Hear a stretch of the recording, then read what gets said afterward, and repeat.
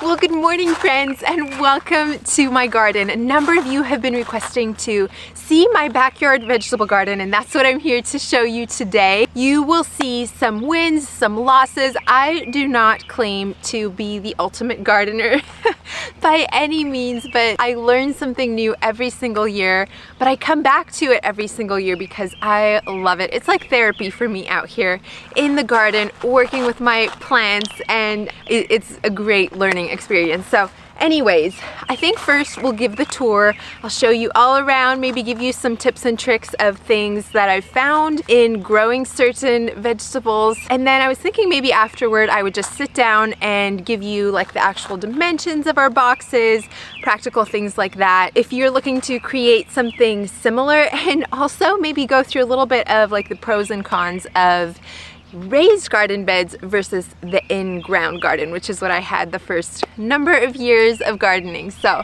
without further ado, let's get right into it. To my left here, we have our green beans. You'll see some of these yellow leaves. I'm not sure actually what that's from, but they have just started bearing beautifully. We have a lot of beautiful green beans coming in right now. So that's super exciting. I was a little bit unsure on how these would turn out this year. We let the chickens free range in the garden at the beginning of the season and it was right after I planted these green beans and they kept digging them up. So it's not actually perfectly spaced in here, but it filled out fine. On the end of the garden bed here, I have a patch of zinnias. I love incorporating flowers throughout my garden beds just to add color, the pollinators, bees, butterflies, really, really love them. So I don't have them all in one section because I love the pops of colors in varying places so that when you look overall, it's a very pleasing picture.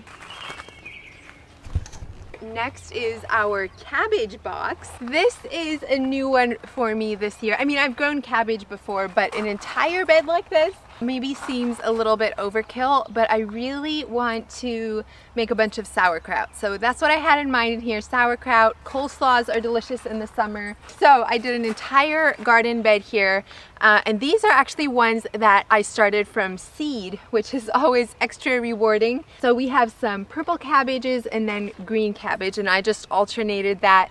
When I plant the garden, I love to try to make things look as aesthetically pleasing as I can just for fun. it's kind of like doing art. Cabbages are also just so pretty to look at. All the frilly details and stuff. They do have a little bit of bugs on the leaves. I am pretty picky with what I will spray in my garden. And so if it's not something that's actually harming my actual vegetable, I won't always go after it. Just like there's some green bean leaves here that have some holes in them. The green beans are just fine, so I'm not gonna bother spraying pesticides or anything like that on them. But we do have something that is really killing my plants that we'll talk about in a bit. You see the chicken coop back here. This is where the chickens are situated. And then to my left here, we have the dahlia patch. This dahlia patch has honestly been so much fun for us. If you are new here, uh, we sell dahlias to wedding florists uh, just kind of as a side hobby, side income. And has been really fun for all of us. Josh loves the health side of plants, so he enjoys looking up how we can get them to have stronger roots, better looking plants and all of that. And then of course I love to cut the flowers, arrange the flowers, that kind of thing. And the kids also love coming out helping me pick buckets of flowers in the morning. So maybe I can insert a little clip of what this looked like last year in full bloom, but it's definitely a highlight for us. And dahlias here will bloom, well depends when you plant them. This year we're really late in planting. Generally we'll start getting blooms sometime in July, which I'm filming this on July 3rd. So obviously the entire garden will be transformed till the end of the month. Generally they'll bloom from July till beginning of November. So they have a really good blooming season.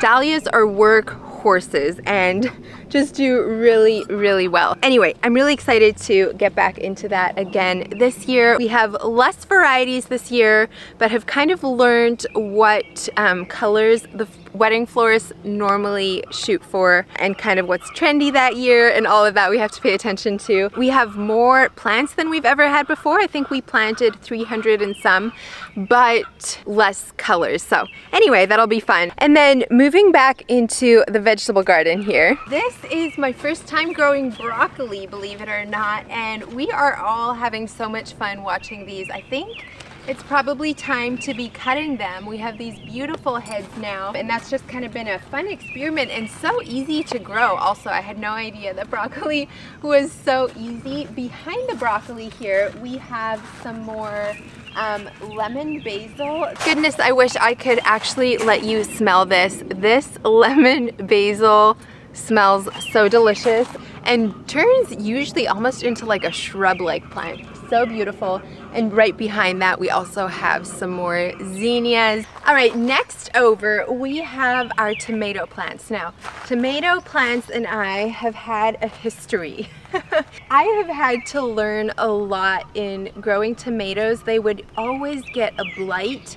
Maybe like mid-season, they would come up looking very promising and then end up going out very poorly. And I was not getting all the tomatoes I wanted. It was kind of, they would die when a lot of green tomatoes were on them. So what we have learned over the years is to supplement them with calcium. This can be done different ways. I will try to put the actual name on the screen here. Uh, again, Josh is the guy behind all the health of the plants, but we feed them with Tomato-tone. I think it's once a week and that has really made a big difference. That and then pruning the bottoms of the plants. So I will pick off all the leaves the bottom maybe this far. Wow, here comes the sun. So um, anyways, then pruning off the bottom, what is this, like six inches of the plant has made such a difference because it allows airflow to the plant and the roots just kind of keeping all that fungus and stuff away. So those have been game changers. These are just wooden, uh, not wooden, metal rods that we spray painted black just to make a nice uniform look. And then we use these little tomato clips. Maybe I can take one off to show you. These little tomato clips we just got at a local like greenhouse supply place and they're amazing. You can get them in a giant bag, very inexpensive. You put them around the vine and you just literally clip it and has just been such an easy way to stake the tomatoes as well as the dahlias and things like that. Okay, time to eat some humble pie. oh, you guys, my cucumbers. So Josh put up this little arch for me a, a, number of years ago. I think our cucumbers did fine the first year, but since then I have struggled with cucumbers. They come up looking beautifully. You see the plants here. This side is still looking pretty nice. This side starting to get the same old wilt that I've had over and over.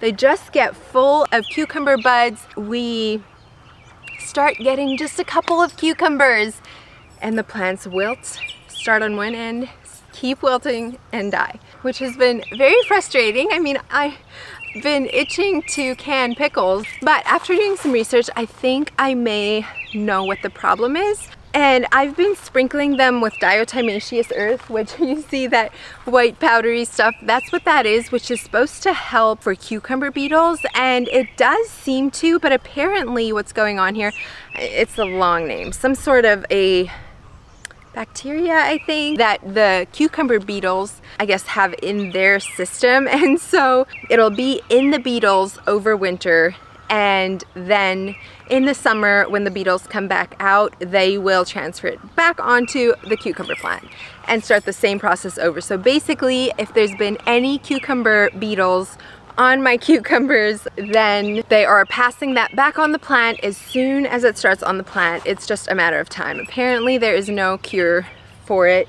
The only way to get rid of it is to rotate the crop. So normally I will do that. I'll rotate my, what I have in which boxes, but it's because of the arch here that I've been doing the cucumbers in the same exact place year after year. So it's good to know. I wish I had known before I planted them this year. I'll have to see if I can still get any cucumber plants um, at a greenhouse or things like that. I know the greenhouse near to us is sold out of so many things, but that's what my plan for next year is to switch locations for the cucumbers and see if we can get back to thriving cucumber plants. If you have any cucumber tips, please let me know. I would love to have a bumper crop of cucumbers again. Next to them, you see the melon box. You'll also see that same powdery white stuff on them. I also sprinkled the diatomaceous earth on them. I haven't seen any wilting on there, so I don't know if they're not prone to that or what. But we have two varieties of melons in here. We have the Sarah's Choice watermelon and I get my seeds from Johnny Selected Seeds by the way. Sarah's Choice and then what's the other one? Sugar Cube I think. It's a tiny tiny little very sweet like personal sized melon that we also had last year. It was delicious so I just planted the leftover seeds this year and did them again. Oh goodness. I just saw we have a little melon coming a tiny baby one. That's so exciting. I was looking the other day and I wasn't sure if there were any little baby ones but they are in fact coming. But next to the melons here we have a box of onions. We plant quite a bit of onions as you can tell. I love onions in cooking but also we cure them and then save them for winter time I mulch most of my garden boxes, or I say mulch, it's actually a mushroom soil, but it really is beneficial for the soil health. So I like to do that, but I did not mulch the onions because I wanted them to have more airflow so that they don't rot as easy. My mom was also telling me that I think as they get kind of bigger, you kind of push away the dirt out of the onions just to um, expose them even more to the elements and it helps them to um, cure better. So anyway, little tip there. Next to the onions, we have just a few more tomato plants. And then in these planters, you can see one of them here died. In the other planter, I just put some creeping, I think it's creeping thyme. It overwinters year after year. Uh, I might do something else there, especially considering that the one died now. These planters are so shallow that it's hard to keep them watered, um, but let me show you what it looks like. Okay, I'm gonna talk from you to you from up here. So we have one of the potato boxes. We actually have two boxes here and growing them has been so much fun for me. Again, diatomaceous earth works amazing on potato bugs.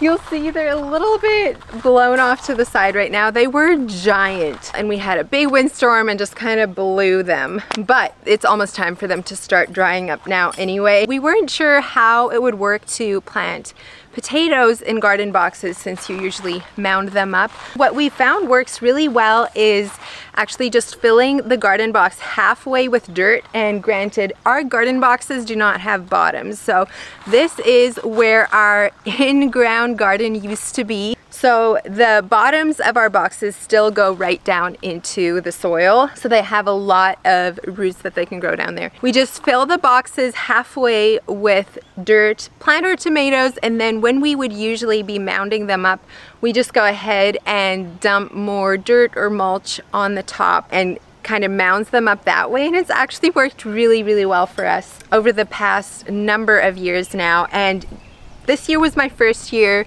doing diatomaceous earth as a potato bug like repellent control, whatever you want to call it, and it has worked really well, so I'm excited about that. I love how I'm just literally hauling around green beans through my entire video. Next to those, we have three little garden boxes here, and this has been a fun one for me and the kids, the oldest three. They each get to plant their own little garden boxes, take care of it through the season, harvest the vegetables from it. You'll see Kyra's beautiful sunflower over here. She went ahead and planted that as well as I think she has some broccoli, some celosia, peppers. Hudson usually loves to do corn. This year he has a beautiful tomato plant that we need to actually stake up. He has a bunch of cabbage, different things like that. And then Leslie has her cabbage zinnias, and then of course her little pinwheel, which is really fun. Behind that, which is nothing to see, it's honestly a weed patch right now. This was our strawberry patch, and we got a few of them this year, but it's the third, fourth year, so it's time to plant new, and I actually want to plant them in a garden box next time. We're hoping to add a couple more garden boxes for next year as our family grows. Now that the kids are getting older, we're eating more for one, and also we've done the raised beds for long enough now that we know we love it. So we want to make a couple more for the strawberries and I'm excited for that because strawberries just tend to go everywhere and having them in a box should keep them more contained. Behind that we have a row of raspberries right here.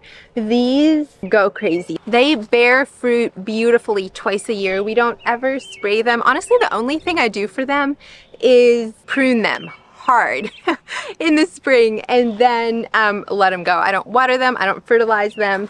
Uh, and so whenever we pull out the strawberries here, I actually want to make a second row of raspberries so that we hopefully can start freezing more and stuff because right now they're just getting gobbled up. this is probably confusing, but I'm looping you around so these are the kids garden boxes here. We have another potato box here. So we have two full boxes of potatoes and then moving along to our herb box. I'll have to include some b-roll of the actual herbs because they're hiding behind the onions. We have some more onions here and then I have a bunch of herbs here on the other end. We have oregano, chives, thyme, parsley, I don't know, a whole bunch of things. Again, we have a little, and I see Japanese beetles. They will have to go. I'll need to set up my traps. Another just a little planter of zinnias here. These are totally not the color that the bag said that they would be, but who cares? They add a nice, fun little happy pop, and so they can stay. We do have irrigation in our boxes and that also goes into this planter. So I really don't have to do any sort of care as far as looking after it other than just coming and cutting flowers. This little basil plant came back from seed, I guess, from last year and I just couldn't let it go. So we have one randomly growing in our walkways. And I have a couple more herbs right here, a couple more basil. We have cilantro and I think my dill did not make it. I tried transferring one because it was also, I don't know if you can see the one back there.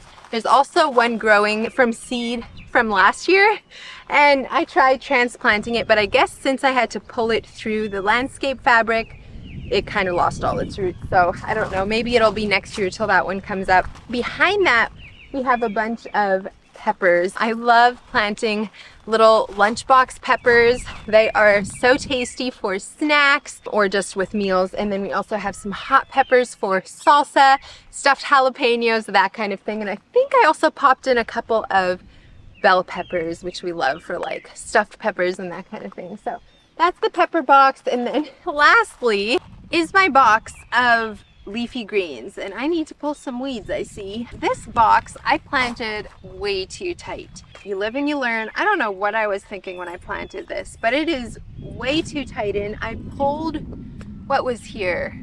Spinach. I think my spinach was infested. So I pulled that to get, hopefully give these lettuces some more space, but they're crammed in way too tight. I have some carrots then as well, has red beets on the end.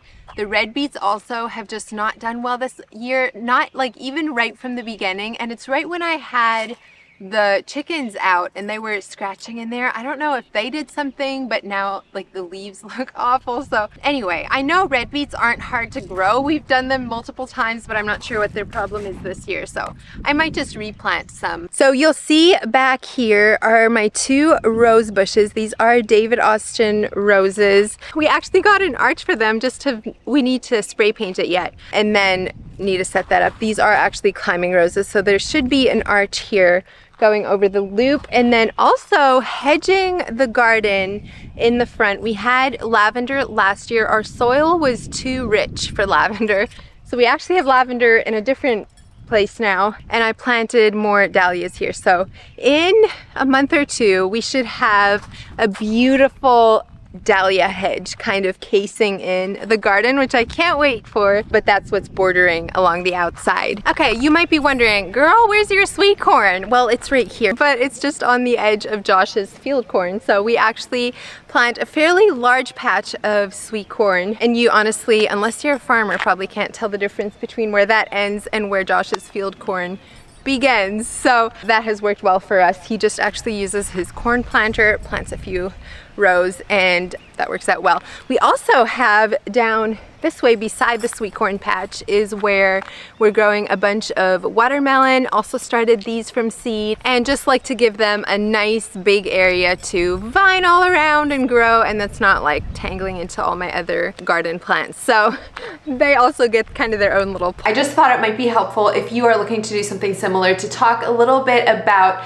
the actual dimensions of our garden boxes and some things like that. So all of our boxes are four foot wide, which is the perfect width. One thing you really want to keep in mind is you don't want to make them wider than what you can reach. So for like weeding, picking things, you don't want to have to crawl into the box to get there. And so four foot wide makes it so that you can reach halfways from either side. And then they're differing lengths. So we have some that are four foot square, some are four by eight, some are four by 12 and then we just kind of drew up a design of the pattern that we wanted to use and it's turned out really well. I love having some different sizes of boxes, but the biggest key would be just to make sure they're not wider than four feet. All of our boxes have irrigation and Garden Answer has a great tutorial that we followed and according to Josh was pretty easy to do and is a, definitely a key because one thing with raised beds is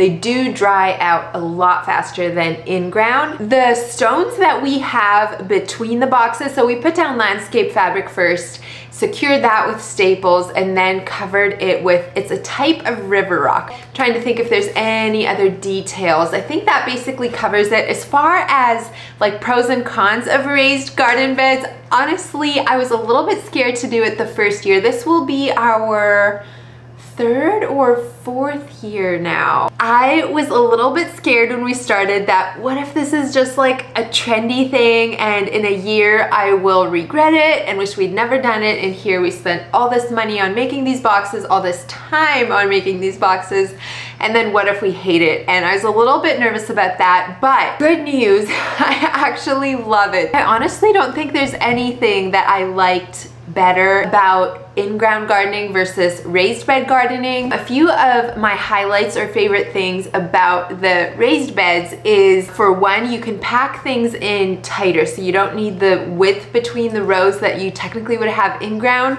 which makes weeding so much less, which is of course a big plus. I love that things like melons, watermelons, um, all these like viney plants do not just go crazy. They are contained. Now they will spill over the sides, but from my experience, they don't continue to grow once they're down there. And it's kind of beautiful when they're spilling over like that. It's easier to control your soil health when you have them in boxes like this. Now, I mentioned during the tour that our boxes don't have bottoms, so the roots can still go deep down. Maybe this fall I can show you. I, I might have shown you last year too, I'm not sure. In the winter, we plant cover crop, and so we plant these radishes, the roots go down to six feet down, so they'll bring like the nutrients back up. It's really cool if you study how that works. But it's also easier to have like your perfect soil mixture. I know Josh paid a lot of attention to that when we first filled our boxes. So anyways, those are a few of the top things that come to mind of things that we have